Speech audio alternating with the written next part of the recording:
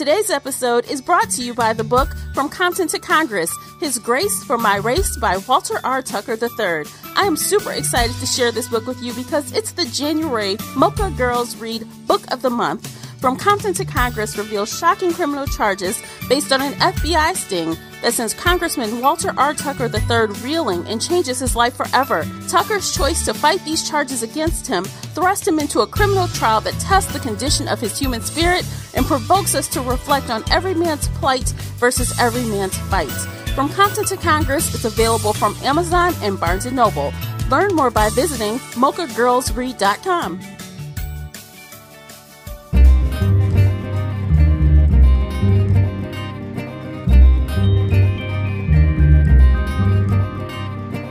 everyone, this is Tamara from shelfaddiction.com and welcome to episode 166. Tonight on Book Chat, I am interviewing author Jen Castleberry. Jen Castleberry resides in Virginia Beach with her husband and pets. Her background is in communications and animal welfare. And a fun fact for you all of her pets are named after superheroes. Hang out with us to hear Jen's recommendations on her current top binge worthy reads, and also she'll introduce us to her book, A Wild and Unremarkable Thing. Jen's social media links are below in the show notes, so if you'd like to connect, you know where to find her. If you enjoyed today's episode, please like and share it. Show your support by rating the podcast and leaving a positive review on Apple Podcast or your listening app of choice. If you'd like to comment on something you hear during today's episode, you can find me on Twitter at Shelf Addiction. If you'd like to email in feedback or questions, feel free to reach out to me at info at shelfaddiction.com or call in and leave an internet voice message via SpeakPipe or the Anchor app. The links are below in the show notes. Hey Jennifer, thank you for joining me tonight. How are you? I'm great. Thank you so much for having me. Oh, absolutely. I'm really excited for tonight because as book lovers, I know we both binge a book or 50. yes, so I thought you were the perfect person to recommend some binge worthy young adult titles. Oh, yes. I am so into young adult and I am like on a binge reading just uh, go right now. I've been reading so many books. I'm really excited for this topic. Yay, I'm excited too. So tell me, did you find it hard to narrow down your list? Um, yes, I found it really hard. I was going through my uh, bookshelves and I was like, okay, which of these books have I really read in just a sitting or two? And there were so many good ones, especially in recent years where YA has just exploded with so many great new authors. And uh, so I really had to figure out which which ones to talk about because there's just so many books on the market right now that are so good that you can just fly through and they're also different.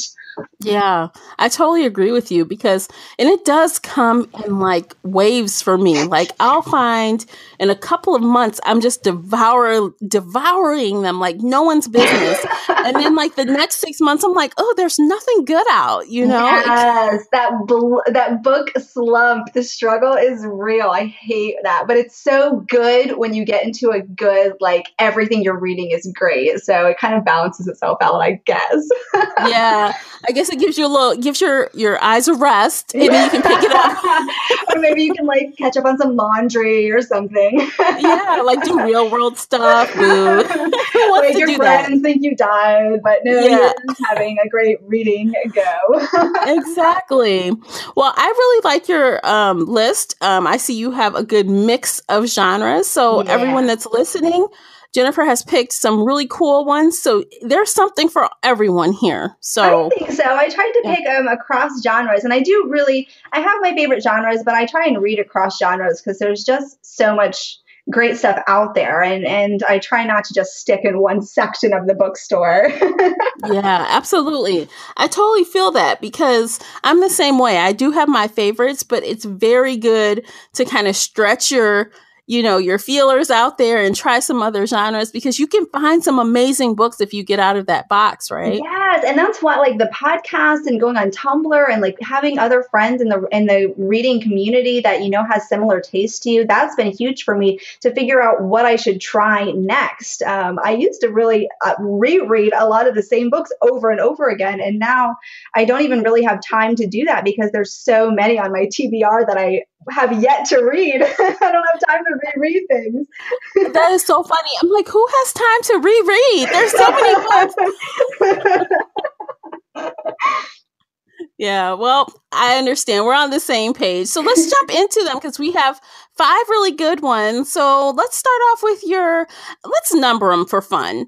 So, like number five, we can start with number five and then okay. end with number one, number one being your your highest recommendation. Let's do it that way. Okay. Okay. Well, now I'm going to think a little bit, but I'll say for my number five, I'm going to say um, Everything, Everything by Nicola Yoon, which is a contemporary YA. And if you haven't, if you're unaware that it started as a book, it did release as a movie this year. So you may have seen the movie or seen the trailer for that. yes. You know what? I saw the movie. Now, I did not read this book, but I did pick up her other book, which is The Sun is Also a Star. Yes. I and have I, one on my bookshelf right now, but I haven't read it yet. yeah. And I did see the movie, and the movie was amazing. So you guys know the book is always better. So just imagine how good this book is going to be if you've seen the movie. The book is so good. It's got that kind of um, like mixed media vibe that if you've read like Illuminae or, or those that like mix text messages and graphs and things into the book, it has that. And um, if you haven't seen the the movie or read the book, it's about a girl who basically has like bubble boy syndrome, uh, where she's has these severe allergies and she has she's been pretty much confined to her house um, her entire life. And her house is kind of set up to filter out all kinds of environmental allergens. Um, and she's kind of hitting a time in her life where she knows that girls her age are going off to college or are starting to you know take a year off and explore the world. And she's looking at her life as being just kind of everything in her future is looks exactly like everything in her past. She's just going to be mm-hmm. in the mm-hmm. past for her whole life. And it's mm-hmm. really it's it's um, a strange situation, but it resonated so much with me that feeling of being a young person and feeling trapped and, and feeling like your life isn't really going anywhere exciting. And I, as I was reading it, I was wishing so much I could have read it when I was in high school or even in middle school because emotionally it really resonated with that kind of those memories for me. Yeah. Um, but it's great. Uh, you, it's got some great twists. I was a little disappointed with the movie trailer because I felt like it spoiled one of the biggest twists. Oh. Um, but so if you haven't, if you have happened to not see the trailer and haven't read the book, I would say go read the book because it's amazing before you spoil it for yourself. Yeah. But it's still really, really good. One of my friends, uh, I got her to read the book after she'd seen the movie, and she still said the book was just as good, even though she kind of already knew the the twists and the ending. But it it is so good. I don't read a lot of contemporary books because I cry a lot anyway, and yeah. they just make me always cry. And this one definitely made me cry a lot, but it's really, really, really good. So I, yeah. um, I definitely read that one in just a couple of sittings. I whipped right through it. Yeah, and I, you guys, the twist is killer. We oh! are not going to oh! spoil it, but it's like, oh, really, really it's now, so wow, good. And Nicola Yoon, I'm pretty sure. I hope I'm not misspeaking, but I'm pretty sure her husband did the illustrations in the book since it is mixed media. Um, but however, I'll have to look back and, and check on that. But however it was, whoever is responsible for the illustrations, they are done so well. They're not just there to kind of be um, a cool extra thing. Like they pack a punch, and they yeah. really are utilized well for the purposes of the the major twist. Because there's some some other twists throughout. It's not just one twist, but there's one big one. Yeah. Um, and my heart just stopped. I know you know what I'm talking about, Tamara. yes.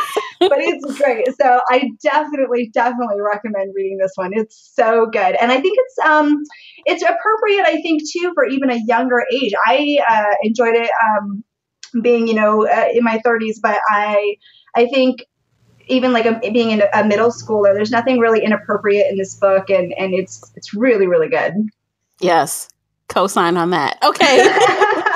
What's your All fourth choice? Number four. Okay, I'm going to say for number four, um, Caraval by Stephanie Garber, mm, mm-hmm. which is a magical realism, kind of a fantasy. Uh, and I picked this one, one, because it's great, and two, because it's got a sequel that's releasing next year. So they just recently re- um, announced that the sequel is coming, and I was really, really excited. If you're someone who likes standalones, I think you'll still like this book, even though it's part of the uh, uh, series, because I didn't truly didn't know that it was going to have a sequel until like the last three pages of the book. So it wraps up very nicely. And then it just kind of sets it up for like almost a companion story, I feel like, um, with the next one. But it's the story of these two sisters who get invitations to go to this buy ticket only live action game called Caraval.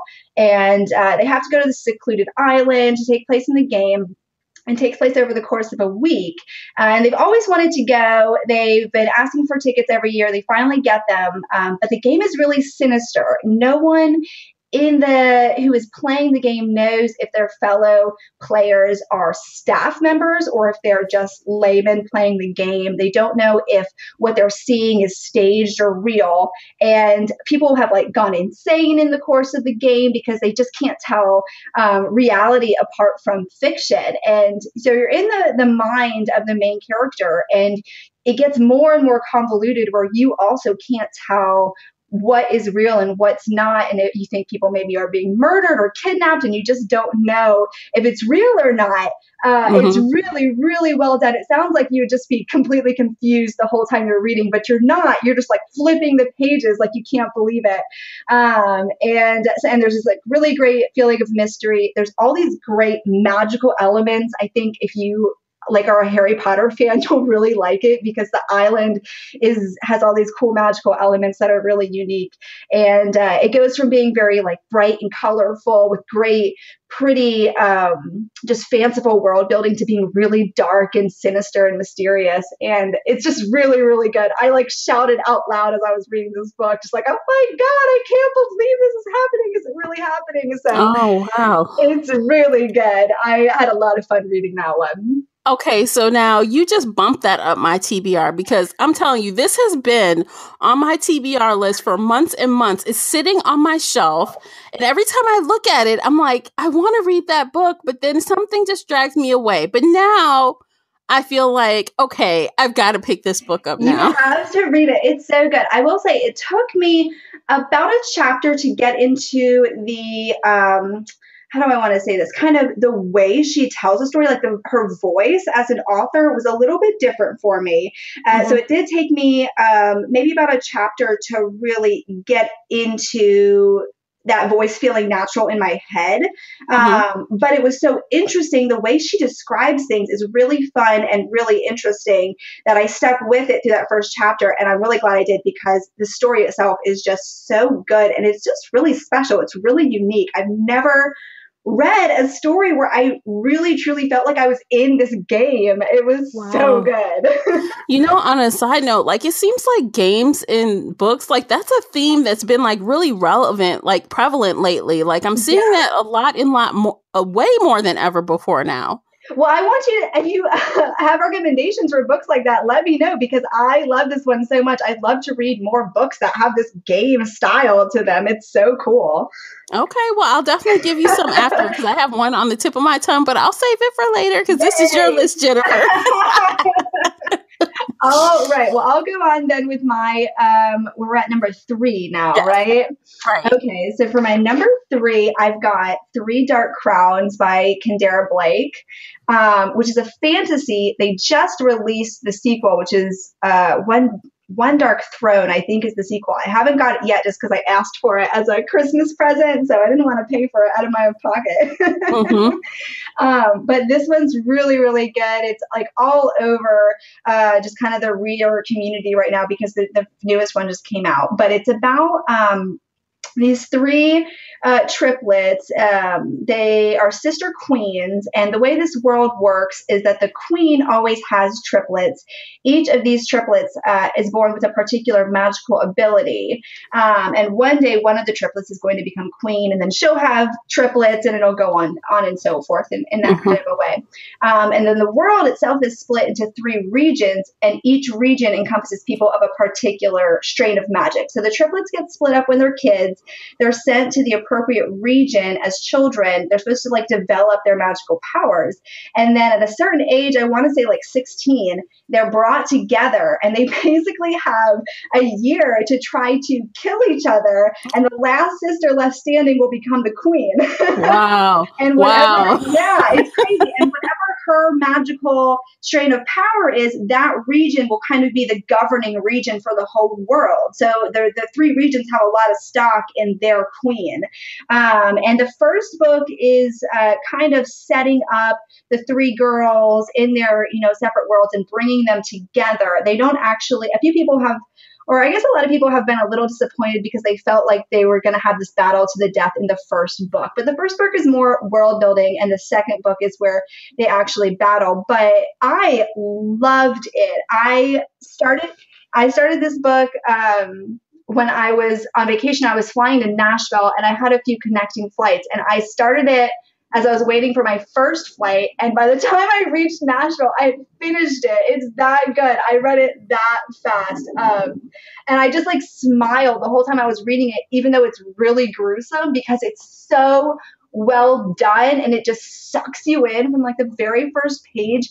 It's so good. I cannot get enough of this book. It's so good. Well, that's good to know because honestly, when I saw this book on the list, I kind of was like, really? Her? Now, let me tell you why. Because I have, I read, okay, I do have this book on my shelf. It's sitting there. and let me tell you why I thought that because I read Anna Dressed in Blood, right? Yes. And I didn't love it. I mean, I didn't hate it, but I didn't love it either. Let me and, tell you, my yeah. mother-in-law. I haven't read Anna Dressed in Blood yet. Um, that one I put on my TBR after reading this one because this is my first Kendare Blake book that I read, and I got my mother-in-law to read Three Dark Crowns. And when she was done, she was like, "I need something else to read." I said, "Well, read uh, Anna Dressed in Blood. It's by the same author. I'm sure it's just as good." She said the same thing. She said it was extremely different, and she yeah. liked it, but she didn't like it nearly as much as she liked Three Dark Crowns. So I think she um, may have just taken a very different approach to this series than to Anna Dressed in Blood because my mother-in-law said that it was it was like reading a different author um, between wow. the two books. So give it a chance, even if you didn't okay. really like Anna, because it's really good. okay, well that makes me want to try it because you know, I mean, maybe she's learned from, maybe she's just evolved since writing Anna Dressed in Blood yeah, because maybe maybe she just yeah. wanted to try a different voice. I don't know. I, I wish I had read that one so I could give a more kind of definitive. I know that that isn't that one told through a male perspective. Yeah, and you know it's funny. I actually had forgotten that I did read the second book. I read Girl of Nightmares reluctantly, and uh, I remember now. So I mean, I did love it. So like the second book was 2012, so that was some time ago. So yeah. definitely, so maybe she, she has evolved as an author yeah. in that time. Yeah. So okay, I'm open to it. I'm not gonna poo poo on the suggestion. I'm open no, to it. Especially if you already have it on your shelf. It's really good. And I flew right through it. It's um it's very unique and it's very like action followed by action followed by action. There's not really any info dump. It's uh the perspective of all three sisters, so it kind of mm-hmm. hops between them, um, and it's uh, kind of choppy and just lots of action. So I think that was a big read. I think that kind of lent to it being a quick read was because it, it never had any kind of drawn out world building or anything. It was just action, action, action. So it was great. I loved it. Okay, cool. All right. So what's your number two? My number two is one that I just finished, and I know that you are interested in reading this book too. It's Flame in the Mist by mm-hmm. Renee Ahdieh, and oh my gosh, I'm still swooning so hard over this book because I just just finished it like yesterday. Wow. And I can't stop thinking about it. It's like one of those things where I can't move on in my world because my head is still with these characters. Um, oh, you have a book hangover. I do. I have a real bad book hangover on it. And the crazy thing is that it is part of a series, which I didn't know. Did you know that? No, I didn't know that. No, I didn't realize it until I had like a third of the book left. And I was like, they are really setting up a lot of things, and it doesn't look like they're going to have time to close all these holes or all of these things that they're setting up. And then I, I in the last few chapters, it became really clear that they were setting up a second book, which isn't out yet. So I'm like, ah, I have to wait like a year for this book to come out. That doesn't entirely surprise me because I remember the Wrath and the Dawn was a two-parter. So yes, and people were wondering if this is going to be a uh, like a series or if it's going to be a duology like Wrath and the Dawn and Rose and the Dagger were. So, which I haven't yeah. read this. Have you read those? I've read Wrath and the Dawn, yes. Did you like it? I did like it, but I gotta say the first book was slow start for me. Mm-hmm. Um, but I think that I like the second book better. I heard that. I, I watched a little bit about that on YouTube, uh, and I, I heard that similar sentiment from a lot of people that the first book was a lot of world building and a little slow, but people liked Rose and the Dagger better than Wrath and the Dawn. I picked up both of those books and put them down a ton of times just because they sounded interesting and they have such beautiful covers. Mm-hmm. And then mm-hmm. I got Flame in the Mist and read it. And it wasn't until I finished and I was reading the author info on the jacket that I was like, oh my God, I kept picking up these other books by this author and I didn't even realize they were the same author. So yeah. I'm going to read them now because I really loved Flame in the Mist. Um, but it's a it's a really cool. It's a book that's set in feudal Japan, and it follows this uh, girl named Mariko. It's a multi-perspective technically, but it is mostly contained to the main character, which is a girl named Mariko, who is really clever. She's like this kind of a scientist or an inventor, but in historical feudal Japan. So she like invents throwing stars in the course of this book and other kind mm-hmm. of cool, like a smoke bomb and, and these different mm-hmm. kinds of mm-hmm. things that are, it's really cool to see a female young character who has a very scientific working mind yeah. um, in a book for, for YA. But she is slated to marry this prince um, her convoy, as it's delivering her to the the royal city, is attacked, presumably by this band of thieves called the Black Clan.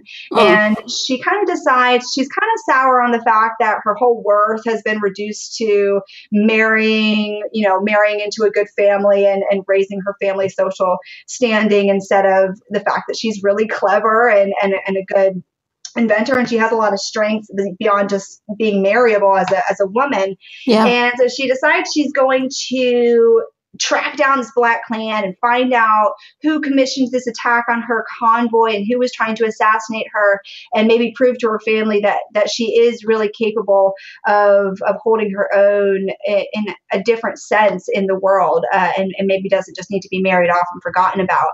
And it is really, really, really good. The Black Clan. If you, I know you like like the A Court of Thorns and, and Roses series, and I don't mm-hmm. know if you've read any of Leigh Bardugo's like Six of Crows Rose or the Grisha trilogy. No, but I want to because I met her and she's super nice. I'm oh like, my I gosh, you met her! I'm so yes. fangirl over her. She's my absolute favorite author of all time. Really? oh, she's nice. Yeah yeah and uh, it gave me she has in her books in its own way um, very similar though to, to sarah j. Maas's kind of squad vibe you mm-hmm. know you, and, and, that was definitely present in this book as well in flame in the mist with the black clan and all the members there. Um, and i also kind of thought it was similar. Have you read um, ember in the ashes from sabaa tahir?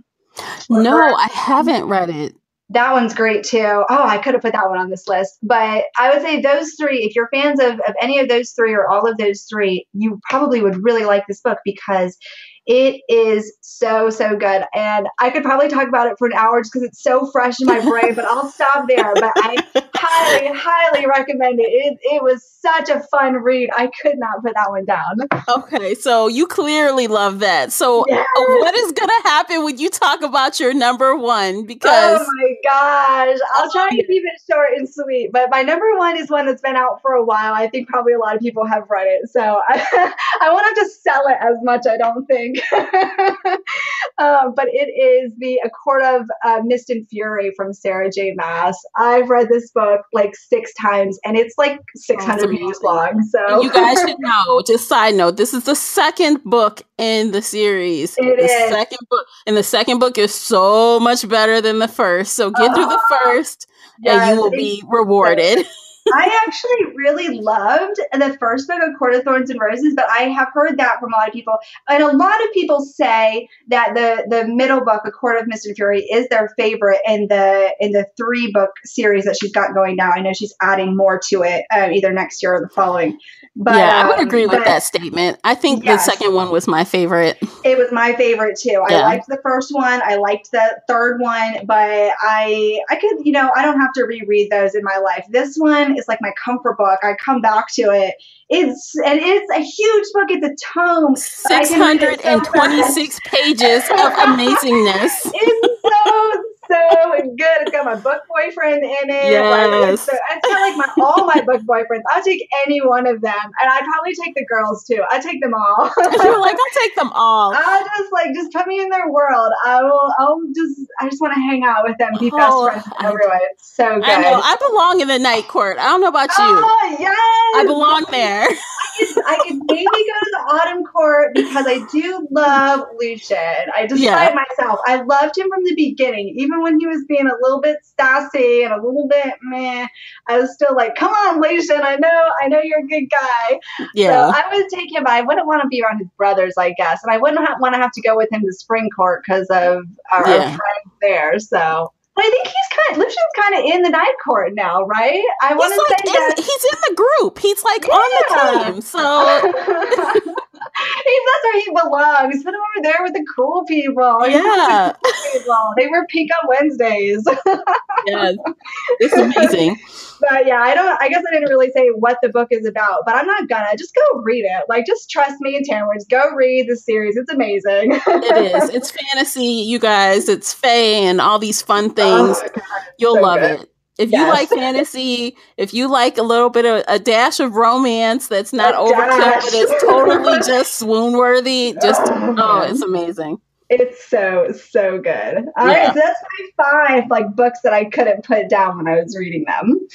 That is definitely one of mine. I mean, I I I feel like I read 600 in 26 pages so fast. I've never read that so fast. Me either. And the fact, you know, I every time I read this book, it's crazy to me that I've read it as many times as, as I have because it's so long and you would think you'd get sick of it. But you just, Sarah has this way of putting so many Easter eggs into her books that every time you read them, you're like, oh my God, I didn't even notice before that this is something she set up a few books ago.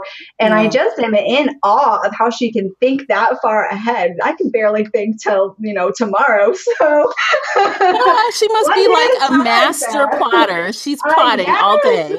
I did read a, an interview with her where she said that she, at least for the Throne of Glass series, that they have her send detailed synopses and outlines like way ahead of time for those. But that's like a 10 book series or something. So I guess you would kind of have to for something like that. But she's uh she's amazing. She's Yeah. worth all that money she gets because she's so, so good.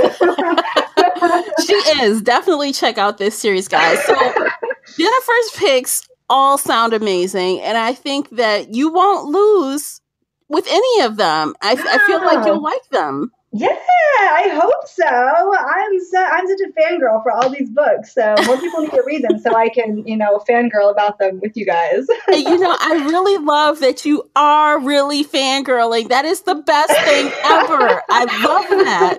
I am. I am like the biggest nerd for books, and I've always been this way since uh, like the moment I could read. I like elementary school, sat at a recess reading, you know, and it's a cool world to be a fangirl for books because you have the internet, you have such a big community of people who can join in with you. So even if you're like me and kind of just a lonely nerd in your normal life, talking about things that no one who knows you in person knows anything about, you can Mhm. just get online and find lots of people who are just as nerdy as you are.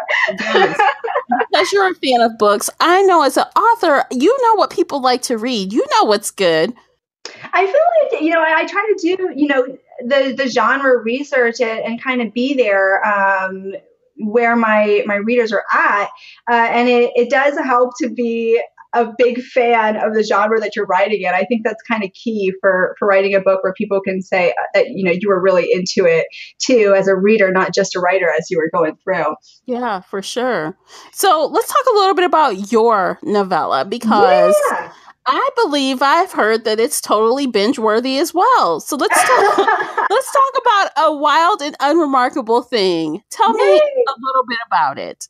Sure. So this is a fantasy novella. Um, it is the story of a girl named Kada who sets out to slay a dragon, collect her reward, and rescue her sisters from poverty. Uh, and along the way, she's going to meet a prince. She meets a bookworm. She meets a god, and she meets a lot of bloodthirsty creatures too. So she's on her way to to slay this dragon and hopefully reap a reward that will get her sisters out of destitution. Mm, okay, so being that this is in the this is in the YA arena, right? Yeah, I would call it older spectrum YA, bordering on new adult. The characters are, um, for the most part, 1920, and there are a few more, uh, romantically speaking, some more mature scenes um, peppered in there. So I would say it's a little bit more older spectrum YA um, or or new adult. Okay, I bet it falls in kind of the realm of the books we were previously talking yeah. about, where it has some adult themes going on, but you know, it's not out of control. yeah, it's never, it's not to like the ACOTAR level.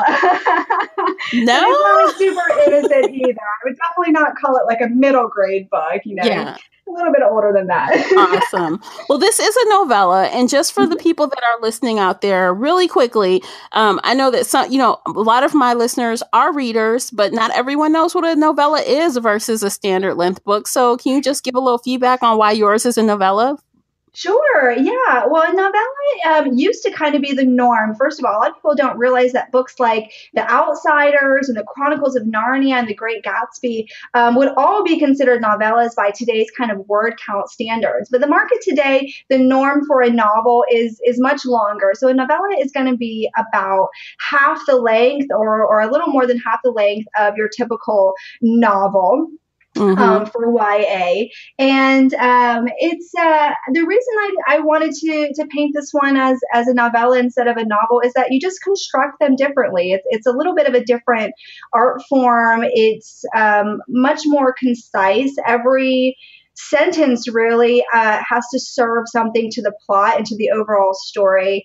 Um, and you just, it's just a different way of, of constructing a story, uh, kind of similar to if you're painting like a realistic portrait compared to an abstract you just approach them differently mm-hmm. um, but it, they could be the same the same kind of a picture mm-hmm. uh, and it was something that i started off with as sort of a writing exercise. I was working on a different piece at the time, and I was a little bit in a, a writing slump, similar to being in like a reading slump. Uh, and when that happens to me, I like to do writing exercises, and there are also things that I I do in between um, writing books as well to just keep my creative muscles strong is working on these writing exercises. So I decided to approach a lot of different technical aspects, but one of them was to write um, a novella and, and to construct it as novella from the get go instead of um, constructing it as a novel. Mm-hmm. And I didn't really expect it to spanned much beyond you know just something for my own personal enjoyment and something to kind of rev my my engine and get me back on track with this other piece that has since been kind of relegated to the drawers. Yeah. but it just turned into something really quickly that i was obsessed with. I couldn't stop writing it and i realized pretty early on that i was going to finish it and it was uh, going to be something that i thought was pretty special. And i I'm still so hype on this book. I I just love it. I love all the characters and I I had so much fun writing it and it's really it was very nerve wracking to put it out there in the world because it was something I loved so much. So the the positive feedback and the, the good reception that it's been getting on Goodreads with the early reviewers that have been posting a lot of um, early reviews up there has been mm-hmm. really, really special for me to see because I was so nervous that mm-hmm. it was just going to be something that I loved so much, but maybe maybe everyone else didn't love it as much. It's yeah. nice to see that people are enjoying it. That's always the risk you take, but the payoff, the reward is great when you take the risk, right? Uh, it has been for this one. It's it's I can't even express what a relief it is as as an author to people to like what you write. It's so hard. It's so scary to put it out there. Absolutely. So let's talk a little bit about um, the squad in your book. Okay, so we sure. talked about squads a little bit with another series earlier. So yeah. what's the squad in your book? What's going on with that? so the squad in my book, we've got uh, we've got a pretty colorful cast of characters. They're all very different, as I I think they they have to be in a novella because you're you don't have a lot of time and a lot of nuances to set people apart. So you have to have characters that are very distinctly their own. Um, but we've got Kata, who I talked about, who is our our warrior going off to slay this dragon and save her sisters, and um, we've got our a crown prince named Fairs, who is this very snarky uh, character who has a great heart, but he's also really really funny. Mm-hmm. Um, and then we've got his best friend Wolfgang, who is um, a lover of books but maybe not the best candidate to slay a dragon. But he's going he's going also into these mountains to slay a dragon to to kind uh, sorry to kind of get a sense of personal autonomy and, and mm-hmm. get some uh, personal glory. His friend the prince is just kind of along for the ride there, and then we've got Pen, who is um, our god, our death god in this book, who is a kind of a sinister character, um, who I won't go too much into to what his role is, but they all kind of converge on this path towards the Summer Alps where they're going to slay these dragons, and from there um, go into the the mountains, and, and we see what happens to each one of them on this quest. Okay. Well, so now I've got to know which of these characters are your favorite and why? oh gosh, my absolute favorite is the prince. Fairs is his name, and he. I had so much fun writing him. He is uh, kind of the comic relief, which I is always kind of my favorite in the book in a book when I'm reading. I mm-hmm. love the, especially the male character that makes me laugh and is just kind of snarky and and devil may care kind of character, but who you know is is a a good kind person just underneath the surface there. Um, and that's that's who i tried to make Fairs into and i had so much fun writing him and um, the scenes where I had to maybe not be the kindest to him as an author, I mm-hmm. really struggled writing them oh, because no. I loved him so much. I just he was my friend. I wanted to keep him in this little safe bubble, but I couldn't. Yeah. Um, but he was by far my favorite. He has uh, he's a secondary character, and so he does have a romantic arc that takes place later in the book, and and um, I really really liked his romantic arc too. I like the the person that he ends up with. They're I think a really um, funny complementary pair mm-hmm. and he was my favorite right and then i i love kata my heroine she she's just um oh gosh i wanted to say a bad ASS, but I don't know, Tara. it's okay. We're all adults here, it's not that bad of a word. You're okay. okay, yes, she's just a badass, and she she is. Oh gosh, I I have such a sympathy with her character. She has kind of this cool vibe with animals. And, and I have spent um, many years working in the animal welfare field so I kind of peppered that into her character. And I just I love her. I think she's tragic. I think she's really strong. Mm-hmm. and people I, I've been really pleased that her character has resonated with a lot of people male and female readers as well. Mm-hmm. um, she is having kind of an identity struggle through this book uh, because in order to go slay this dragon if she wants to reap the reward she does have to stay in the guise of a boy hmm. um, for her whole life. If it's find if it's found out that she is a, a, girl even after she's reaped a reward, it can be revoked. Um, and so she has spent her whole life kind of ready to to sacrifice this sense of personal identity in order to save her family and and rescue them from poverty.